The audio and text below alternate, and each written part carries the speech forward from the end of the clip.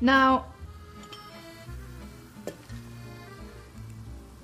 in a lot of restaurants, especially when you order champagne by the glass, and I know there's a value uh, side to it, but you will have your glass filled to the rim. That is really a no no to the French. Really, the ideal amount of wine is slightly more than half of you of what your glass can take. Why? Because remember, uh, you drink it slowly, and if you have too much, uh, it will warm up. And warm champagne, not too great.